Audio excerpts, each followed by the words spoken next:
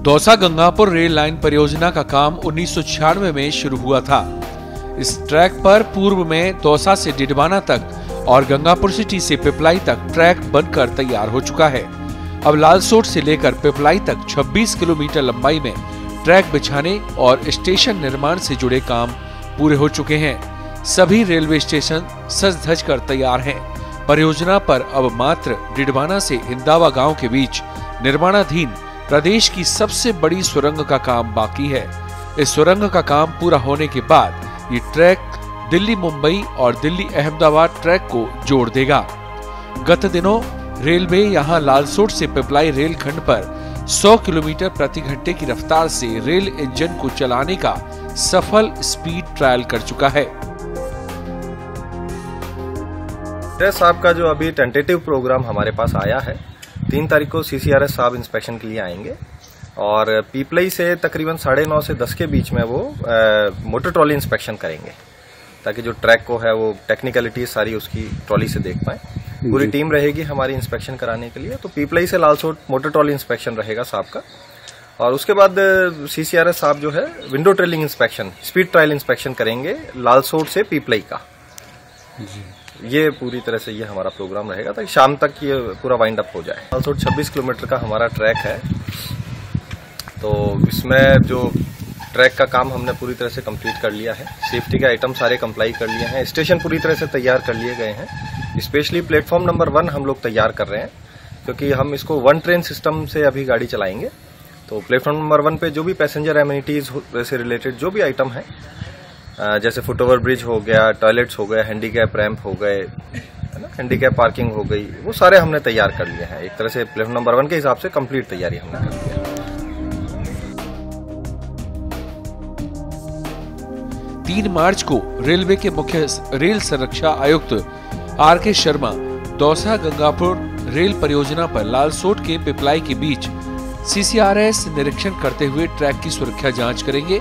सुरक्षा जाँच होने के बाद सेफ्टी क्लियरेंस मिलने के साथ ही गंगापुर सिटी से लालसोट तक आगामी अप्रैल और मई माह में ही रेल संचालन शुरू होने की भी संभावना है।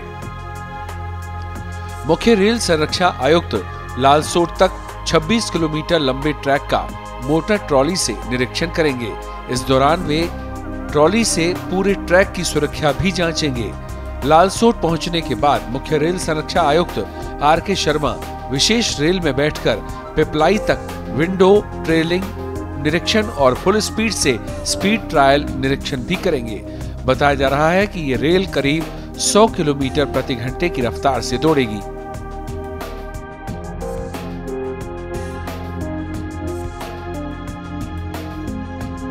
करीब ढाई दशक पूर्व, दौसा से गंगापुर रेल लाइन का सपना देखा गया था। अब यह सपना जल्द ही साकार होने की उम्मीद बन रही है। इस ट्रैक पर गंगापुर से लालचोट तक ट्रैक पूरी तरह तैयार हो चुका है। तीन मार्च को यहाँ रेल रेलवे के अधिकारी सुरक्षा का जायजा लेंगे। रेलवे के जो मुख्य सुरक्षा आयुक्त हैं वो यहाँ सुरक्षा का जायजा लेंगे जिसके बाद गंगापुर से लेके ला, लालचोट तक ट्रेन संचालन शीघ्र ही शुरू हो सकेगा।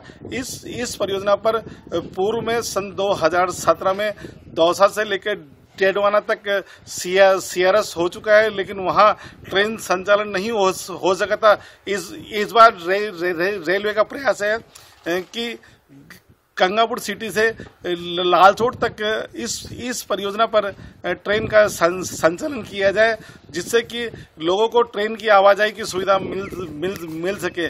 या आपको हम एक बार और बता दें इस परियोजना पर अब भी एक काम बाकी पड़ा है वो है प्रदेश की सबसे बड़ी रेल सुरंग काम जी हाँ लालचोट के टेडवाना से लेकर इंदावा गाँव तक इस परियोजना पर प्रदेश की सबसे बड़ी रे, रेल सुरंग का काम अभी भी जारी है।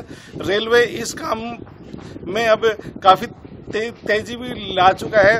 रेलवे अधिकारियों की माने तो इस सुरंग का काम अगले साल तक पूरा आगामी वित्तीय वर्ष तक पूरा होने की उम्मीद है। जिसके बाद दौसा से लेकर गंगापुर तक पूरे ट्रैक पर रेल का संचालन शुरू होगा और दिल्ली जयपुर और दिल्ली बॉम्बे रेल को कनेक्ट करने के लिए एक ये अहम ट्रैक साबित होगा। पत्रिका टीवी के लिए महेश बिहारी शर्मा